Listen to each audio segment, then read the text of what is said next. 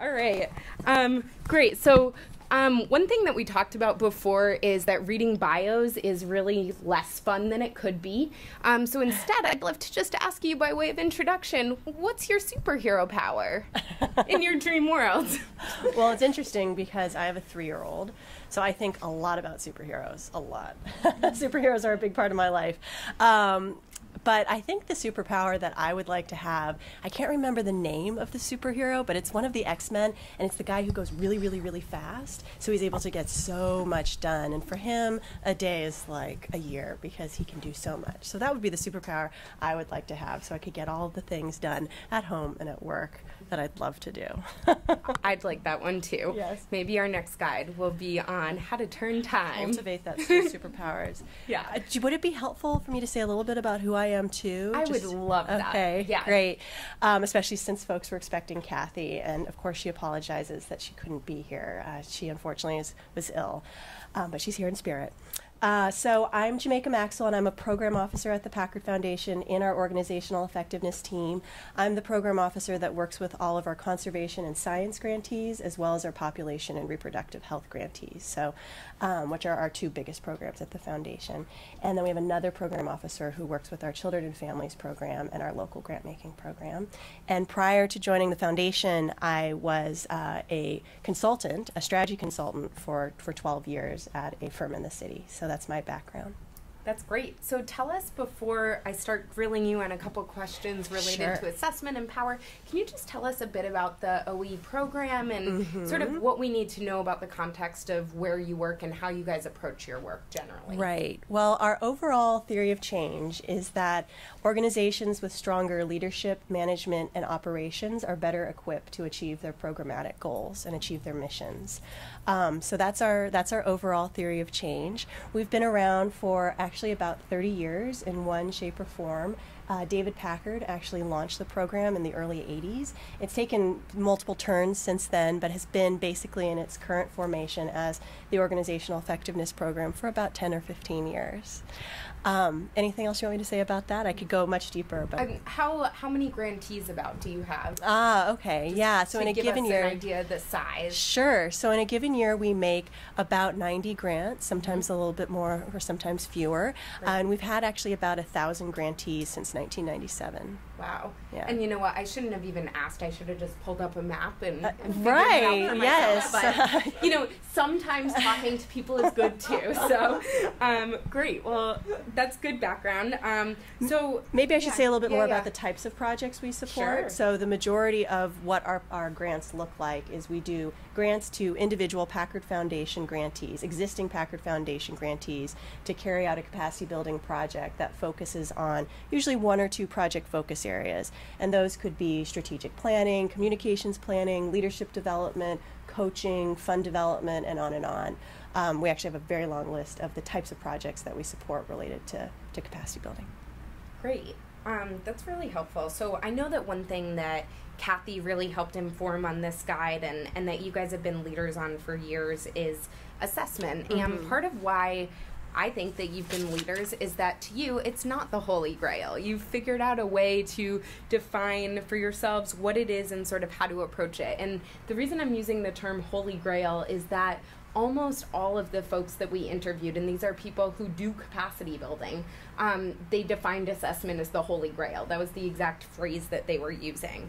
Um, so, I mean, one of the things that we broke down in the guide is that we really heard, especially from Kathy and the rest of your team, that um, assessment is a process. So it starts even before a grant is made when you're figuring out, like, what's the actual purpose of this? Um, is it to change an organization and move the needle in an organization, or is it to move a field or build a movement? Um, so that's sort of the before part. There's like a lot with assessment that happens during a grant and then also a lot after. So that's how we frame it in the guide. But I'm curious to hear how you found the Holy Grail and, and what you think about assessment of capacity building grants. Yeah, well, there's so there's bless you. There's so much to be said about assessment and its many different forms. Um, I think one thing that we've really been trying to push the envelope on is around evaluation after the grants have been made, um, and measuring uh, the impact of capacity buil- building is a challenge, and it's something that we're constantly in conversation with our colleagues about. Well, how how do we get beyond self-reported data, which is really what we use uh, to inform our evaluation? Uh, so we we have an evaluation plan that we feel pretty good about. It's actually up on our wiki. We have a wiki page that uh, has a lot of resources. We um, are really transparent about our strategy and our and our evaluation plan. And I wrote down the website because I never remember it. It's Packard um, dash Foundation dash OE dot wikispaces.com. So that's a really uh, useful resource to go check out how we're doing evaluation. We'd love to hear how other foundations are doing evaluation. So what kind of kinds of questions do we try to answer through the evaluation? And I wrote them down because I don't remember them all, all, all the details. Um, but it's questions like to what extent do OE grants result in greater organizational impact, greater uh, field impact, greater programmatic outcomes related to the work being funded on the programmatic side, not just on the capacity building side.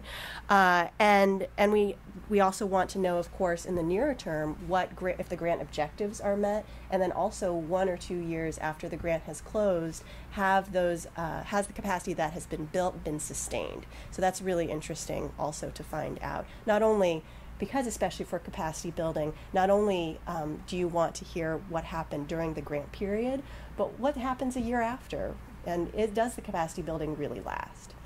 So, and are you asking those questions through your final reports or mm-hmm. through conversations or just sort of doing your own investigating? Right, good question. So, most of it, well, it's through a, a bunch of different um, materials, but it's definitely final reports. We also have external evaluators that do an, an interview mm-hmm. um, with a selection, with a random selection of grantees a year afterward. Uh, we also speak to our program officers who we collaborate with on these capacity building grants mm-hmm. to get a sense of have they seen the results that we're hearing about through the reports. So it's a bunch of different methods, really. Great. Yeah, and we have a lot of our results available online, and we share it with our grantees and our program staff and with our foundation collaborators as well. That's great. Sure, yeah, and I also could definitely write it down somewhere so it could be circulated, you know, electronically. But it's Packard Foundation OE dot wikispaces.com. This, this the Wikispaces, you know, website creates these these long uh, addresses. Uh, so the other thing I wanted to say was just around around assessments is that we use them in a lot of different ways, and one way that we've actually been using assessments quite a bit now is when we're moving into new geographies or we're working with a new group of grantees, and there has been a real interest um, by the by the grantees in working with us collaboratively to understand what their needs are and where they would like to build capacity. So we actually use an assessment as a participatory group experience to work together with the grantees grantees to understand their needs. Uh, and this relates to the power conversation later on, but it really changes the dynamic of how we're working with our grantees and how candid that, that they're being with their needs. Yeah, that's really interesting. And I think something that we saw in our research is that you guys are a larger foundation. You have some different resources and different staff available. And even in the smaller foundations, trust is something that that was sort of that was the main thing that funders were really focused on with capacity building in particular. How can we have a candid understanding of the needs and how can mm-hmm. we really hear if something is working? Um, and so for some people, it's using third parties and working with other staff, but at smaller foundations, board members sometimes can play a really mm. important role and sometimes anonymous surveys and um, members of the community even sharing what their perception of change has been so it's neat to hear your experience and and see how it can translate in some ways too across the board right right i think it's actually very helpful that I, i'm separate from the program um, yeah. po uh, so I'm asking very different questions of the grantee than the program program officer, who's asking questions about specific programmatic outcomes. I'm asking Great. questions like, "What's keeping you up at night?" and "What do you need to take take your work to the next level?" Yeah, yeah, that's great. So I guess uh, one question that I definitely wanted to ask you, um, because I know it's a curiosity of a lot of people in the room, is: Do you require organizational assessments? And if you do, why? And if you don't, why? We do not require organizational assessments. I think they're a fabulous tool, mm-hmm. um, but uh, it well, a couple things. First, We work with our program staff to identify the, the organizations that um, are priority for organizational effectiveness funding. So these these grantees have are, are already partners. They've already been vetted. They've already gone through due diligence. Usually, the program PO knows them pretty well, uh, and so it's it's an ongoing partnership frequently with these grantees, uh, and we're usually uh, jumping in after a couple years of grant making. Sometimes not, but frequently. Uh, so an OA at that point doesn't necessarily feel necessary. Also, we don't necessarily want to require it of all of our grantees. It feels like it could be quite burdensome, uh, really depending, of course, on the size of the organization uh, and the resources available to do it. Yeah. Yeah. But it is a tool that we use. um, so, I, and actually, I've had conversations, two conversations this week, with organizations that um, in the past I mentioned, hey, you should check out these OA tools. We have actually an OA page on our wiki uh, that lists both free and low cost OA tools. So I've, I've sent a lot of people there and I said, you know, check it Mm-hmm. out. Check it out. Maybe it's something you want to do. Maybe it doesn't feel right. Maybe it feels burdensome. It's up to you. Mm-hmm. And especially if organizations come to me and they say, oh, I have an interest in this or that. I'm not quite sure what we really need. Um, or I think we should do this, but uh, my board chair thinks this, and I'm not sure where we go next. An OA is a perfect tool for that. Several members of the staff and the leadership can carry it out, and it can really launch a conversation. So, again, I've had two conversations this week where, where Yeah. groups actually did do an OA and has been extremely helpful for them to hone in themselves on what they would like to work on. That's great. And just because part of the conversation is meant to drive toward power, something that I hear in that statement too, because you mentioned the tension of, of the staff and the board and like Mhm. the role of the funder there too. And so sometimes having an assessment tool, Mhm. um, it can help sort of be a middleman, so to speak, in those conversations because Mhm. it's something that everyone can more objectively step back and look at rather than it being Mhm. driven by the board member, the staff, or, Right. or the funder. Right, exactly. Um, but the last thing I will say on OA is that actually we do have a couple programs, our newer programs, where we are actually integrating OA from the beginning. So we have a new program launching right now where every grantee is going through A, but it's funded through the foundation. So there will be resources provided to help them both go through the survey itself and interpret the results. But it, they will own that, and um, what they would like to report to us or how they would like to use it is up to them. And will that be used for assessment for you guys, or is that more part of the beginning of of the process? So they actually are going to own their results. It will Mhm. be um, compiled, and every two years there will be the OA will be repeated for this group of grantees, so we can track. This is these are in areas where we're really trying to track field building and the overall increase of capacity in a given sector in a given geography. So we will be tracking the the aggregated results, but individually each organization will own the results, and it's up to them whether they want to report back to us on what they've learned and where they want to work on individual capacity building. Interesting. Yeah. Well, that leads nicely maybe into my next question, um, which is a curiosity about the structure of a grant initially can indicate a lot about its success. So, can you Mhm. talk a little bit about how you try to structure OE grants from the beginning um, with results and you know evaluation in mind? Sure, and this could be a could be, conversation. yeah. Stick So- around after. so we um, we call our form of grant making strategically responsive. That's the uh, the words we use in our team, and a great phrase. yeah, and so what that looks like in practice is that we work again closely in partnership with our program colleagues to hear um, what they're seeing among their grantees, what needs they're seeing. But once we've identified the grantees we're going to work with, um, then it, it, the conversation changes and we become very responsive. And so the conversation usually starts with me, like I said earlier, asking the, the grantee, what, what do you need to take your goals and missions and your organizational organization's effectiveness to the next level. And like I said earlier, what's keeping you up at night? Uh, and so it becomes very quickly a conversation where we're listening. Uh, and we're listening more than talking uh, to get a sense of really what's going on in that organization and, and how we can best support them. And sometimes organizations come with a really clear need. They say, oh man, we haven't had a new strategic plan in six years. There's no doubt that that's what we need to do. We need to do it yesterday. And then it's, it's how can we make that ha- happen as quickly as possible. But other, other times it's a lot more complicated. Uh, and, and then it becomes more of a coaching, an advisory, um, sometimes a shoulder to cry on, sometimes mm-hmm. a sounding board, depending on what's, what's needed at that moment. So that's a little bit about the beginning of the conversation. Once we really have a sense of what we hone in on what that focus is, then we really want to get clear on what will be achieved through that project. Um, they usually find an external consultant that they want to work with to build their capacity or complete whatever planning exercise is occurring, and then we really want to be clear on the specific objectives that will be a, that will be achieved within the grant period and whatever longer term or overarching goal is driving the work. Um, and and you just mentioned that they pick a consultant. They do, yes. They pick it, not you.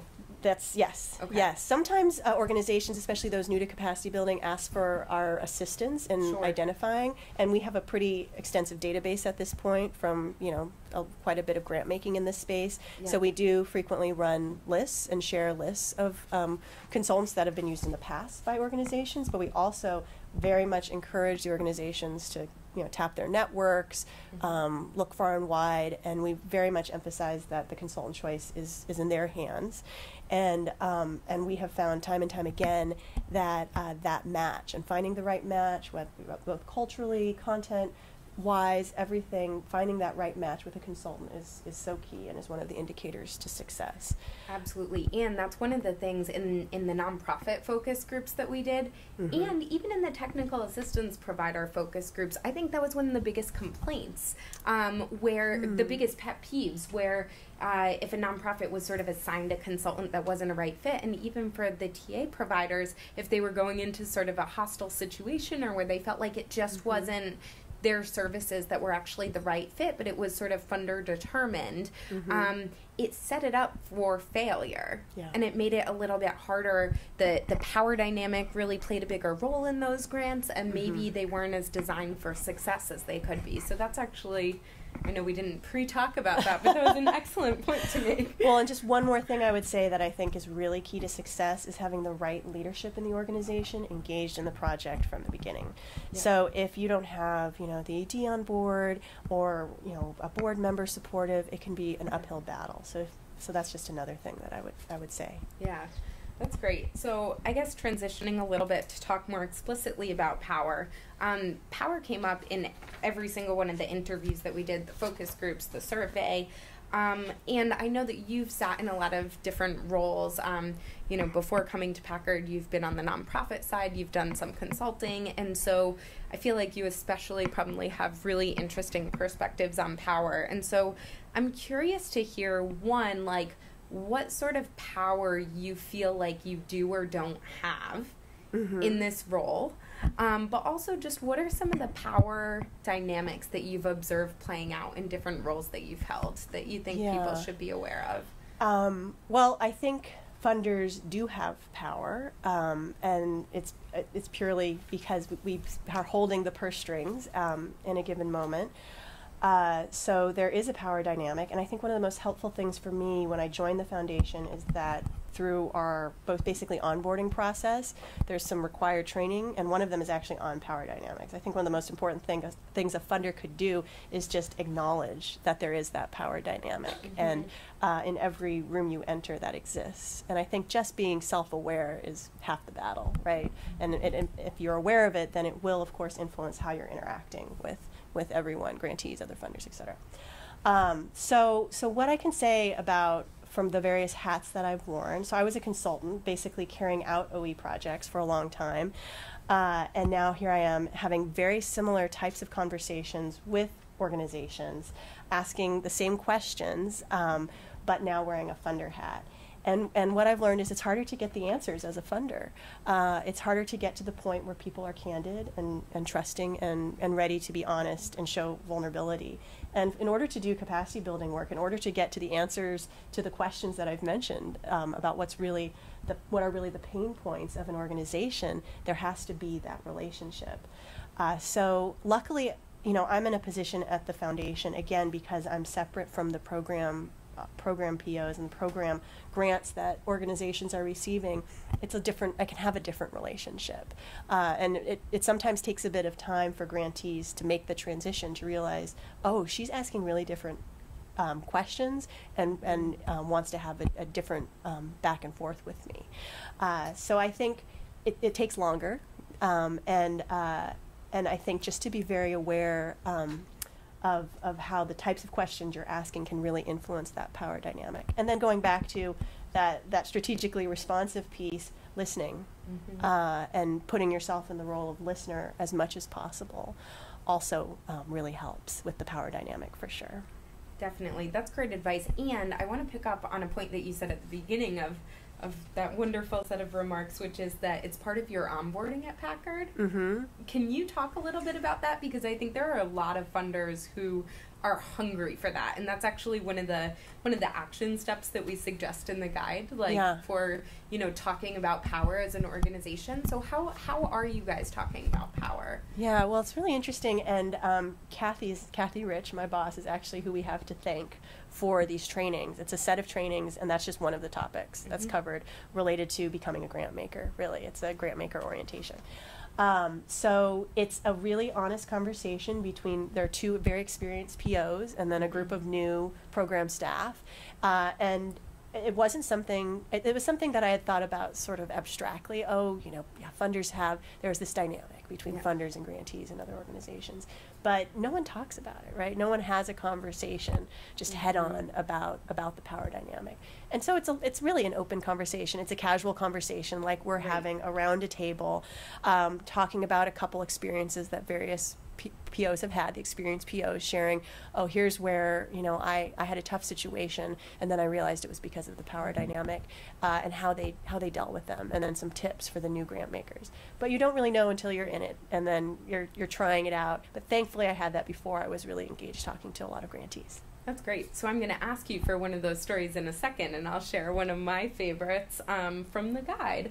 Um, and it's a favorite in the sense that it's really telling of the power that funders have without always realizing it, and how we sort of have to be on at all moments. So one funder um, from a smaller foundation who really has strong relationships with grantees and a really honest, candid dialogue um, she was talking with a grantee and sort of made an offhand remark just that, oh, you know, you're doing all this work and your mission statement doesn't really show that. Like, you guys might want to update that at some point.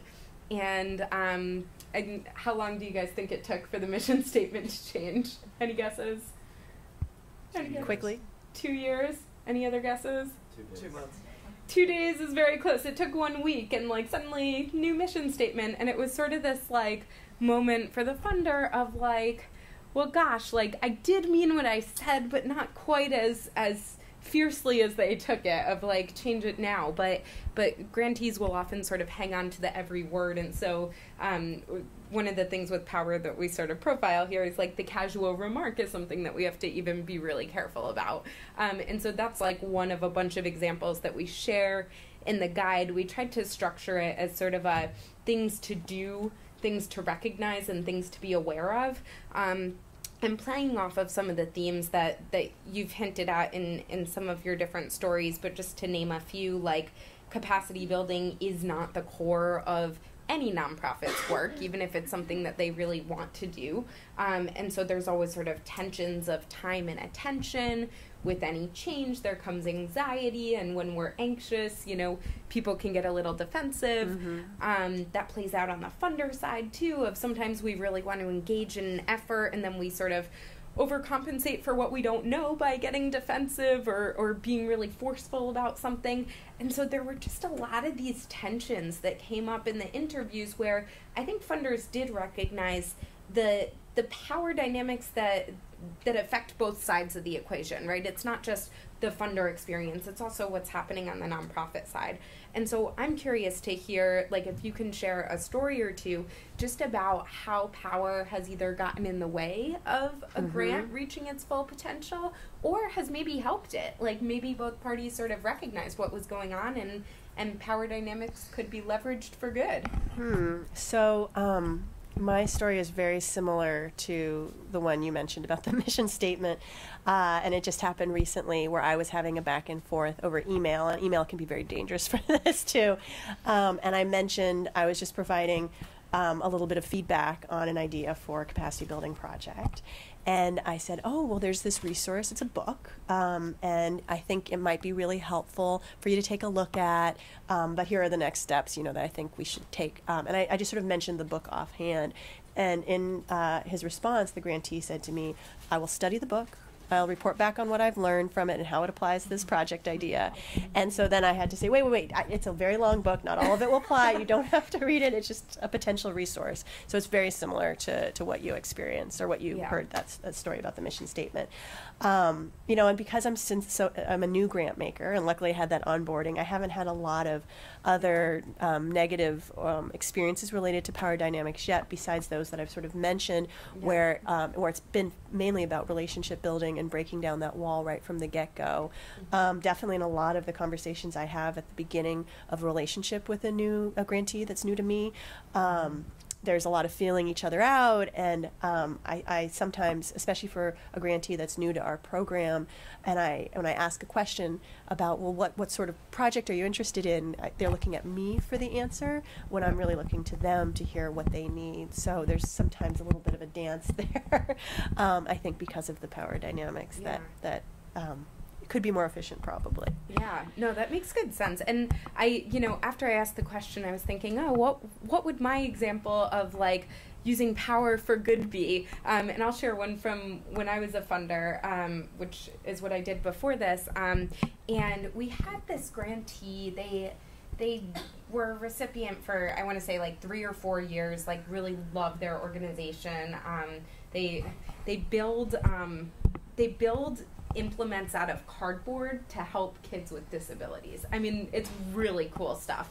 Um, and, and and then the other piece of what they do is they employ women who recently you know were able to get out of the the justice system so really just amazing program um, and like my one of my favorite grantees and so the renewal proposal was something that they didn't spend any time on um, and we got it and it was a proposal that didn't go through any second set of eyes and mm. you know didn't answer any questions and it, it was hard to read and um, as a funder there's always the question of like well you get a terrible proposal but you know really good things about the organization what do you do and so i think a power that i felt like we used well in that case was you know they got the grant again but with the contingent that you know, first we're going to meet to talk about like we're redlining this proposal and we're going to mm-hmm. go through it with you and and sort of show you what our reaction was because if we were investing in this organization, we were doing it because we believed in them and we want other funders to right. also support. But with that sort of proposal, they wouldn't have been able to get support from other funders, especially new ones. So that actually worked out really well, and I I was nervous about it, but we got a thank you note, you know, I, several months later that you know they had updated their proposal, and would we like to see it just sort of as an example of what they've been able to do with the advice and and so I think that there are ways when you can recognize your power as like you have the ultimate hard power of does somebody get grant money, but but you can also build in you know the non-monetary capacity building with some of that power in recognizing what you know. So like we were good writers and you know sort of knew what we were looking for so we could build their capacity in that way. So you sparked an, uh, one for me too. Oh excellent. Yeah so frequently we have especially uh, grantees who are new to capacity building they may come to us and say here's a list of eight things that i want to work on. Mm-hmm. um, and that might be strategic planning and communications planning and leadership coaching and staff training for everyone and on and on and on and we know from our experiences and from a lot of evaluation that when you're focusing on more than basically two project focus areas related to capacity building, especially when they're engaging the senior leadership of the organization, it takes a lot of time and it takes yeah. a lot of energy. And if you really want that capacity building to be effective and work and last, you have to focus. so that's one way that we frequently, even if yeah. they have a very clear reasoning why they want to do their list of four or six activities, that we really try to narrow it down and we say we, we really have to for for your to help you. Let's narrow this down. So that's that's one way. It's a small way. Yeah, no, that's great. So um, I wanted to just see if there are any questions in the room before we sort of give our closing thoughts and take a short break before we we break up into our deep dive components. Sam, and say who you are, why you're here. Great. Um, I'm Samantha. Um, I work in change management consulting, so kind of we don't work with um, with we work corporate profit organizations, but my background's in nonprofits, so kind of interested in hearing it from different sides. So my two questions, um, things we think about a lot in terms of evaluation. Um, the first part, when you have the external consultant that you're um, that the uh, recipient uh, chooses, do do you share um, what you found, like what they've shared with you with them, or like what's your relationship with that external consultant in terms of are they kind of going and starting over in terms of assessment, or like what's your role in that mm. kind of triangle? And then the second part is when you're looking back and you're evaluating it, how many years down the line, whether it was successful as capacity building, what if it was a really bad consultant? Like how, mm-hmm. or maybe your um, the organization just wasn't on board with the process. Like how do you mm-hmm. evaluate the success mm-hmm. um, of the capacity building? So before you answer that, I'll just repeat it back in in like a couple words for the live stream audience to give you time to think. So that was Samantha Goldman, who does um, change management consulting, among other things. Um, a recent California transplant, so everybody welcome her.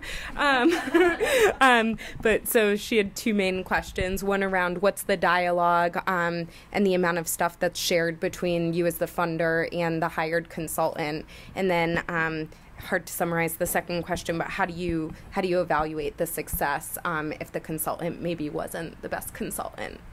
Right. So um, I maybe confused things when I was talking about the consultant choice earlier. So the uh, grantee selects the consultant that they work with on the pro- whatever project. So if they're doing communications or leadership or whatever, they they select that consultant.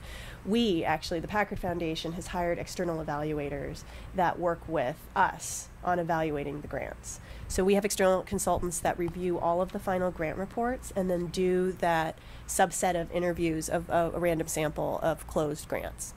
Um, so they are using the same data that we are, that we have access to the, the, when they review the final grant reports.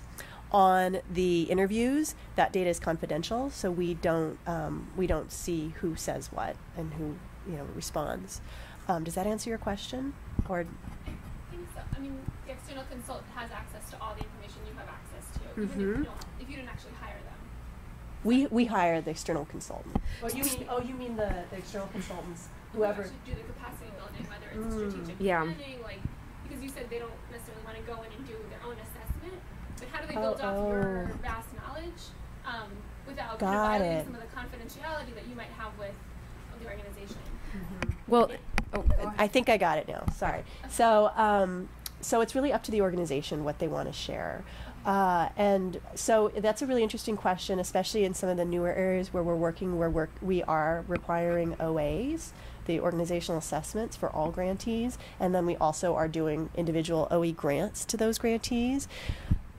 But I, we're going to leave it up to the organization how much they want to share of, of that of that detail.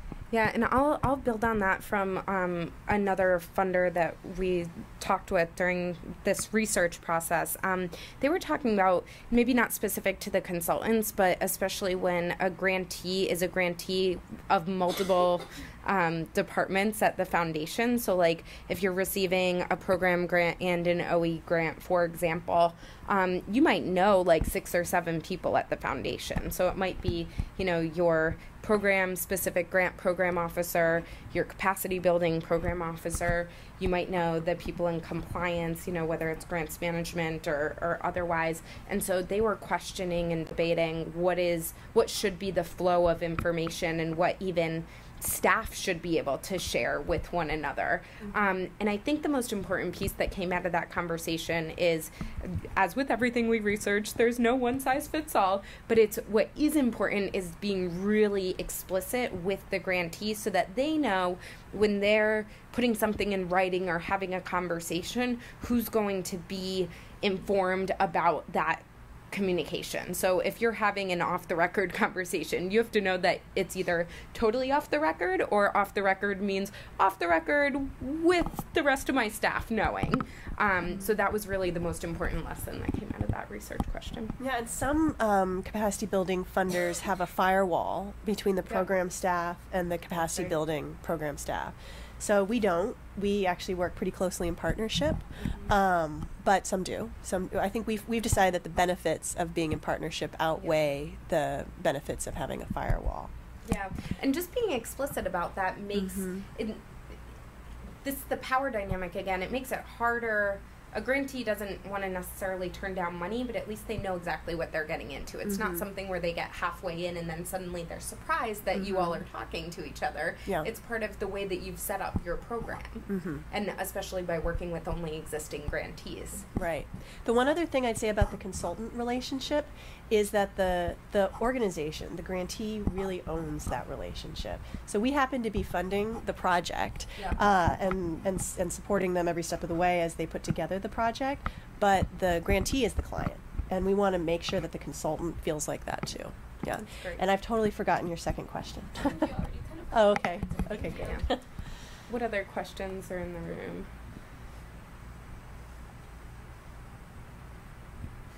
Yeah. Say your name, why you're here. Phil Beshefkin, um, to uh, work in an organization that provides capacity building through pro bono.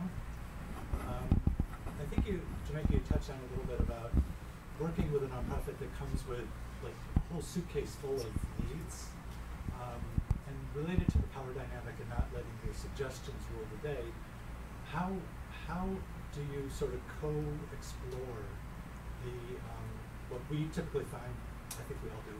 Presenting problems come forward, and there's really a set of underlying issues. Mm-hmm. How do you mm-hmm. get to those in a respectful, thoughtful, kind of evocative way that let them really be own and feel proud that they've uncovered the golden nut that they really want to solve for themselves? So, just to repeat for the live stream audience, um, this is Joel from a capacity building organization that does their work through pro bono. And he asked a very thoughtful question about how you have those conversations with um, the recipient organization to make sure that you're really having thoughtful, um, detailed conversations that really get to the heart of what it is that they're trying to do. Right, right. And it's, that's such a hard question. I, um, I think it's it's uh, what we all try to do is, is, master conversation, right? And it's it's an appreciative inquiry line of questioning um, that's mainly focused on listening. Uh, so I don't think there's a magic formula at all, uh, and I think every probably every person and everyone in a role like I'm in or you're in uh, has a little bit of a different way that that we found useful to do that. Um, that's that's not very helpful, is it? Sorry. I, I, I can but, chime in on it. But I would yeah. say, uh, in addition to that, I would say that organizational assessments um, are that's one way that is really helpful. Um, especially if it really is a laundry list. So I frequently see either laundry list or fund development, right? Those are the things I frequently see. So um, when I see those things uh, and I have a conversation and we don't make headway, uh, and we and it's not clear at the end of that conversation that we're going to be able to narrow that list down. That's when doing some form of OA, whether it's something really light and easy, um, or whether it's something a little bit deeper, can be a really helpful exercise. I no, that's great advice, and I I agree that there's no. It sort of is based very much on the soft skills and your ability to have a good conversation. I'll tie back to a theme you said earlier: listening, listening, listening, yeah. um, which is really important. Um, I'll share a conversation that sort of accidentally came at the very end of this research um, from a woman who worked for an international NGO um, based out of Brazil for ten years. Um, she was um, in one of the leadership roles there. And um, she told me, and we talk about this a little in our lenses chapter. Um, she, I sort of asked her that question, like, what are what are things that funders have done to make you feel really comfortable where you can share anything? And she said, we drink, like and and so you know we had a laugh and i really appreciated her candor. Um, and as we dug into it a little bit more you know she had such a great point. What she was what she was trying to say is you know we spent time together outside of you know the overly planned and it always is hour long site visit or two hour long site visit. We spent time outside of the you know meetings that had been on the calendar. We spent time outside of you know discussing a grant report. Um, my funders really came and spent time with me, with my board, with my staff, and with the community, and we had drinks. It's not about the drinks part, but it's about the being social and sort of interacting on a more human level that helps, you know, remove some of those power dynamics and, and be outside of the regular setting of the office or the pre-planned site visit. So I'm not I'm not encouraging this audience to go drink all the time with your grantees, but I am suggesting, you know, take her advice on how can you have a more casual conversation that is not so scripted. And I would so, totally second that. Most of the work that I do is usually by phone because of the number of grants that I that I do. So I don't have a chance to visit as many people as I would like. Um, and and so how do I do? I do some as close to getting a drink as possible on the phone, which is really about tone Yep. and being uh, candid and casual, um, and trying to. Uh, to loosen, you know, loosen our ties a little bit on the phone as much as we can, so that it, it's not as formal and it's not as high pressure, and so you can get to some of those hard, vulnerable moment, moments. And increasingly, a lot of funders too, who are phone funders, um, have switched to video funders. So especially with like Google Hangout, Skype, ooVoo. I don't want to be like brand. I want to be brand agnostic here. So any of the video conferencing um, tools, you can use them, and even just I, I have one funder. She has like a really fun bulletin board that's always like changing behind her, and I know that that sounds so silly, but it's sort of nice to see people in their environment, and even that makes it you know we have funders too we're a nonprofit right? So it's really nice to interact with our funders in that way as well. So video can be a tool. And i think i saw one hand in the back and then maybe we'll we'll take a little break after that. Did i? No? It's just a stretch. I, I excellent I can make it coherent. Um, my name is Nancy Schillis. I'm from the Thomas J. Long Foundation. in Milwaukee. Um, uh, I wanted to go back to, to make it, I think you said your theory of change had to do with leadership, management, and operations, right? So I'm wondering if through this organizational effectiveness work that organizations do, what if they find out that they have the wrong leadership in place? Or they find out that, you know, the staffing for operations or man, it, it's, it's wrong staffing and it's really, I mean, that's, that's the issue that needs to be addressed. Mhm. Or is it such that the, the only organizations that get organizational effectiveness, you know, assistance or capacity building have already been vetted, like, by the program staff, right? Because you only give those kind of grants to existing grantees. Mhm. So is it that that part's already been, that's not, not an issue because it's already been vetted, the leadership and management operations part?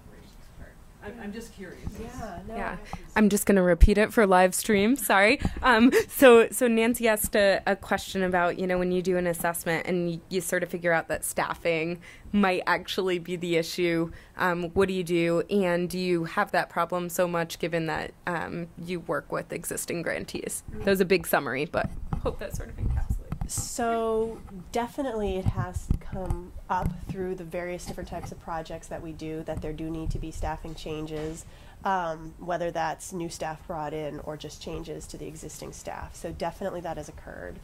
Um, on the projects I've worked on so far, it hasn't been um, as dramatic as the ED that started the project. Um, has it's now clear that they need they need to be booted. so it's never been that situation. Um, but for for for the other situations where it's other staff members, um, definitely we've we've dealt with that. Um, usually the organization we don't usually fund organizations that are in crisis. We definitely fund executive transitions, um, uh, but organizations that are in real crisis, either because of massive st- staff turnover or financial issues, um, we don't feel like that's the right moment for us to inject ourselves. Sometimes program actually makes a grant that helps in that moment, but but we don't we don't do that capacity building. Um, so on the on the grants where uh, where there may be staff changes, I think that's a fine outcome. Uh, and there definitely are surprise outcomes sometimes. And one thing we frequently say is OE work begets more OE work because in that situation, if you realize that your new strategic plan calls for a completely different staff, then the next step is, oh, well, we need an operational and, and staffing plan that matches this new strategic plan, and we didn't have enough funding, we didn't know we'd need to cover that. And so sometimes that's us that we step in and help in that way. Sometimes other funders are ready to help at that point. Sometimes it's included in the programmatic grant. It really depends on the situation. But I, you know, that's definitely something that, that has come up. And something else related to staffing, not quite an answer to your question, but just another point um, that we talk about in the guide is is really looking at in a capacity building effort. Is your effort grounded in like one person at the foundation and one person at the nonprofit organization, or is this like an organizational compatibility? So that's to say, like if if your like leading program officer on a cause were to leave, like would the foundation still be behind it? And similarly, like if you're if you're feeling confident in an organization solely because of like one leader and that person were to leave, mm-hmm. as as happens with good talent in this sector, people move on. Is the effort sort of going to going to still work? Right. Um, and that's not a reason to do or not to do, but it's another consideration that we definitely highlight with how much how much are you putting in single staff versus large organizations. Well, another thing to say on that, um, which I could have said in the sort of what makes a good capacity building yeah. grant section, is we definitely think about um, making grants that will have an organizational level impact. Mm-hmm. We definitely also fund things uh, and projects that work to support individuals in the organization, such as executive coaching or leadership training, things like that. But the vast majority of, of our projects, we're looking for organizational level transformational outcomes. We also fund at the network level and at the field level as well. Great. Well, we could keep this conversation going forever. um, what what I think we'll do is um, I'd love to just ask for like your like what are your last thoughts? Like I you know Packard is one animal. Every foundation is its own animal. Mm-hmm. What's what's the thing or couple things that you want people to go back to their organizations and and sort of know or do with capacity building? Well, I guess I just I think it's an artificial distinction distinction to say you can fund program and not fund capacity building, um, because without a strong management, leadership, and operational foundation, um, organizations risk failure.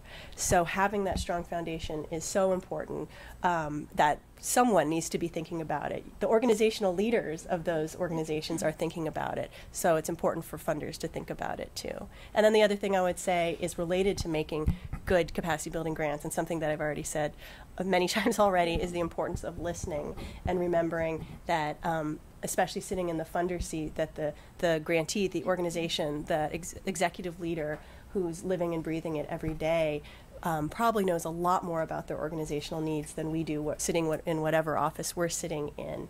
Um, and so I definitely make never make the assumption that I know more about their situation than they do. That's great. And I will I'll share mine from sort of a field building perspective as someone who works for Foundation Center does. Um, I people have been funding capacity building for decades, and there are resources, but a lot of them take like a very top level approach or, you know, are very theoretical. And what I really believe moves practice is the the very personal telling of stories like you've done today. And so I encourage sort of everyone to think about what is your story, whether it's about capacity building specifically, which I hope it is because that's why we're all here, or sort of more broadly, what's a story that you can share to help others improve their practice and also then to listen to other stories. Um, and you can do that through GrantCraft, um, anyone can sort of submit content. Um, you can always be in touch with me, jen at foundationcenter.org, um, you know, with any questions. Um, but I just want to, it's one of my personal and professional goals to really increase sharing of quality stories in the field. Um, so that would sort of be mine. And I think with that, what we'll do is we'll say goodbye to our live stream audience. Bye. Um, thanks so much for joining. Um, you are always welcome to join us in person somewhere, but we're glad that you joined us virtually. Um, so for you guys, if you have any follow up questions, again, just email me, jen at foundationcenter.org. Um,